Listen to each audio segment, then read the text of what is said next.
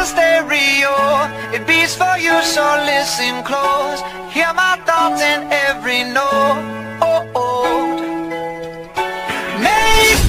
Uh, I'm not finished. your radio. Turn me up when you feel low. This melody was meant for you. So sing along to my stereo. Salutare la toți și astăzi uh, o să facem review la acest set, uh, acum, adică partea a doua și haideți să începem cu minifigurinele. Uh, așa. Uh, avem mai întâi uh, aici instrucțiunea. Hai să începem cu instrucțiunea, de fapt. Uh, așa, avem aici ultimele pagini, pentru că na, sunt cele mai importante. Aici avem toate seturile din această serie. Uh, eu vroiam ca tare setul cu Jay pentru că are pentru că are păianjenul ăla și da, chiar îmi plac. Uh, dar uh, na, nu l-am găsit nicăieri, nici măcar la magazinul oficial Lego de la noi, care e în centru, dar mă rog.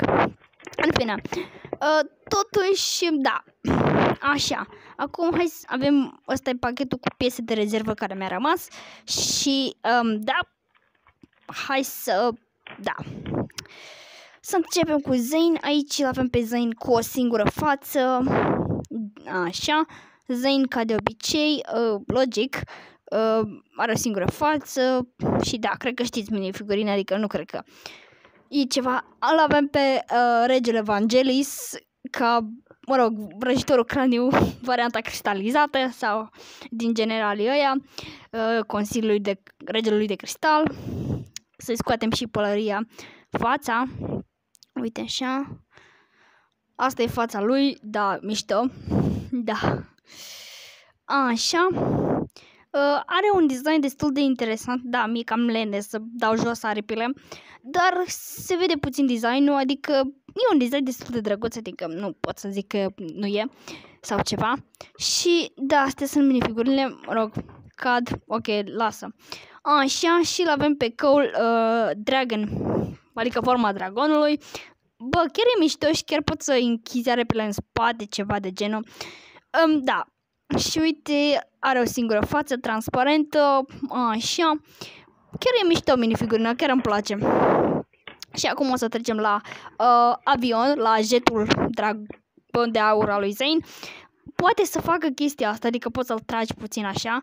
Um, asta ar fi prima funcție pe care o are acest set. Uh, astea de aici se învârtesc. Uh, o a doua funcție, mai simplă. Iar chestia aia se dă în spate, uite așa. Și capota se ridică logic și... Mm, astea nu fac nimic, nu. Aparent nu fac nimic și da, cam asta poți să faci cu... Uh, adică, astea sunt funcțiile pe care le are acest set. Uh, da, Cam asta și-a fost și setul. Um, e chiar mișto, adică n-am ce să zic. Um, da, chiar mi-a plăcut. Um, mișto setul, da, în fine, e destul de mare și îți ocupă spațiu. În fine, uh, stați așa că nu am terminat. Um, uh, pentru voi durează o secundă, iar astăzi o să facem un nou review la acest set. După cum o știți, uh, pe canalul uh, RP, cred că l știți pe RP Logic, um, a făcut un video cu seturi care trebuie să le iei până în 2023, pentru că vor fi retrase și am menționat și acest set. Și cum treceam pe la Crafty să-mi iau ceva pentru școală, mă rog, uh, văd și la secție uh, Lego chestia asta și am zis că, bă, da să mi iau, că uite, nici nu era scump, adică era 195 lei. Uh, și eu zic că e un set bun. Acum hai să... Da, deci știți setul ăsta Lloyd de la ăsta. Și hai să-l desfacem. Uh, Lloyd din sezonul, adică gen, e Legacy de fapt. Și ăsta de fapt, de fapt, este și chiar primul meu set Legacy din acest wave. Sau mai am altele, nu se minte exact. Dar pare mi se din acest wave în care a apărut setul uh, e primul, adică nu știu, probabil că mai sunt seturi. Și da, acum avem această chestie cu, a, cu stickere, da, avem acele stickere, um, da, avem instrucțiunea, um, da, clasic, instrucțiunea, uh, la fel pe spate, pagina de piese, uh, aici avem alte seturi, uh, pe care le știți din acest wave. Aici o reclamă Lego Life și um, aici, mă rog, chestii tot Lego Life, ceva. Uh, și deja începem să construim aici. Da, cam asta a fost și instrucțiunea. Avem așa un pachet mai mic. Uh, da. Și avem un pachet mai mare.